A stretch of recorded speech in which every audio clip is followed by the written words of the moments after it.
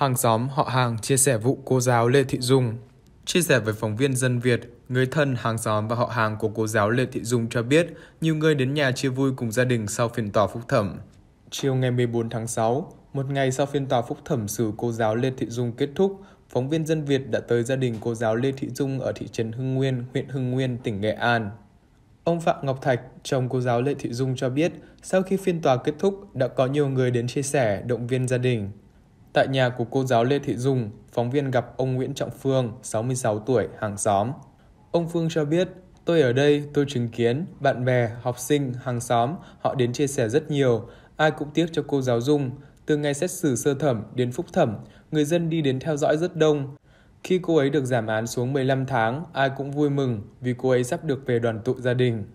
Không chỉ riêng ông Phương, nhiều người dân tại đây cũng đến chia sẻ với gia đình. Mọi người đều quan tâm hỏi ngày cô giáo Lê Thị Dung được trở về nhà.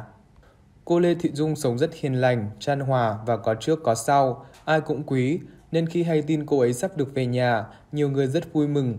Một người hàng xóm của cô giáo Lê Thị Dung chia sẻ. Theo ông Phạm Ngọc Thạch, chồng cô giáo Lê Thị Dung, từ tối ngày 13 tháng 6, rất nhiều người đến nhà chia sẻ niềm vui. Ông cũng rất cảm ơn sự quan tâm của mọi người dành cho gia đình. Ông Thạch cũng vừa đi gửi thêm một số đồ dùng và thực phẩm vào trại giam cho vợ mình. Dự kiến ngày 28 tháng 6 tới đây, cô Lê Thị Dung sẽ trở về đoàn tụ cùng với gia đình. Trước đó, sau 2 ngày xét hỏi, tranh tụng công khai tại tòa, xem xét toàn diện vụ án, Hội đồng xét xử phúc thẩm quyết định sửa bản án sơ thẩm, tuyên bị cáo Lê Thị Dung 15 tháng tù về tội lợi dụng chức vụ quyền hạn trong khi thi hành công vụ.